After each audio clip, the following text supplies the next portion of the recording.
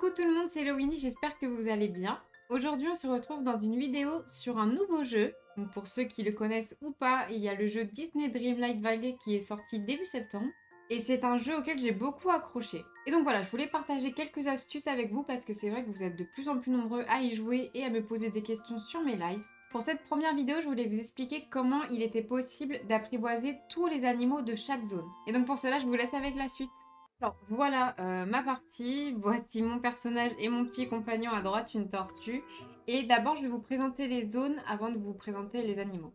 Alors voilà comment se présente le jeu et vous avez en tout 8 zones différentes. Au tout début du jeu, vous avez directement l'esplanade ou la prairie tranquille. Et au fur et à mesure de votre gameplay, bah, vous allez débloquer certaines zones. Pour ma part, vu que je suis assez bien avancée dans le jeu, j'ai tout débloqué et du coup, j'ai débloqué tous les compagnons. On va commencer tout simple par l'esplanade, vraiment la base du jeu. Dans cette zone, vous y trouverez des écureuils, donc il y en a un juste derrière moi. Et eux, c'est tout simple. C'est eux qui viennent à vous, ils sont pas du tout farouches, donc vous avez juste à les approcher. Et vous voyez, il a pas du tout peur. Pour les écureuils, c'est plutôt une nourriture euh, basique, donc ça va être plutôt des fruits, si possible pommes ou framboises. Et vous voyez, là, il est content. On passe ensuite à la deuxième zone, donc la prairie tranquille. Dans cette zone, comme vous voyez, vous voyez un petit lapin.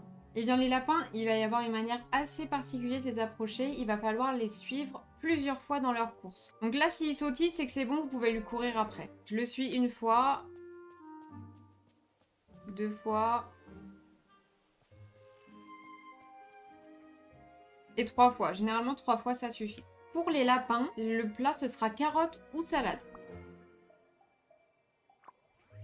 On passe ensuite à la troisième zone qui est la plage enchantée. Vous avez sur la plage des petites tortues. Donc pour les tortues, vous allez voir, vous allez vous approcher.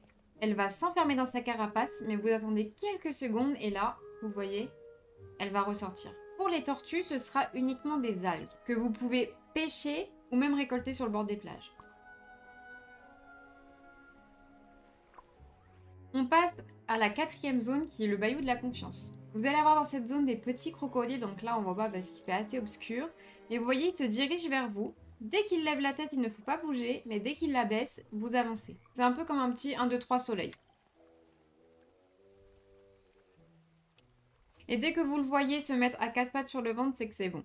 Pour les crocodiles, euh, vous pouvez leur donner du calamar ou des crevettes, mais le must du must, ce serait un homard.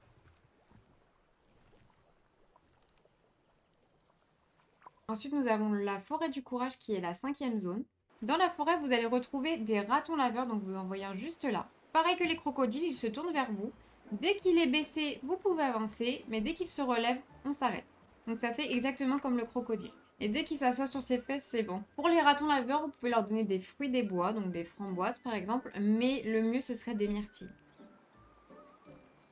Pour la sixième zone, nous avons les hauteurs glacées. Et ici, vous allez pouvoir retrouver des petits renardeaux. Donc pareil que pour les lapins, il faut leur courir après.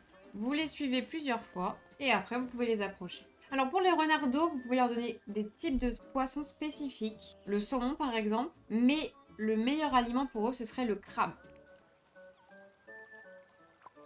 On passe à l'avant-dernière zone, donc la septième, qui est le plateau ensoleillé. Ici, vous allez rencontrer des oiseaux, donc dit des passereaux, et ce que vous pouvez faire tout de suite, c'est récolter des fleurs assez hautes que vous trouvez sur le plateau ensoleillé? Donc je vais prendre celle-ci et je vais essayer de rencontrer un oiseau. Ce sera comme les écureuils, c'est eux qui viennent à vous, vous n'avez rien à faire. Et du coup, pour les passereaux, comme je vous ai dit, vous leur donnez la fleur que vous avez trouvée sur le plateau ensoleillé. Et nous avons comme dernière zone les terres oubliées. Vous allez voir, c'est généralement la dernière zone qu'on débloque quand on avance dans le jeu. Et pour le coup, je ne pourrais pas vous dire comment apprivoiser les derniers animaux que l'on trouve dans cette zone, qui sont des corbeaux. Pour le simple fait qu'ils ne sont pas encore là et qu'ils seront possiblement disponibles à la prochaine mise à jour. Et voilà, j'espère que cette vidéo vous aura aidé.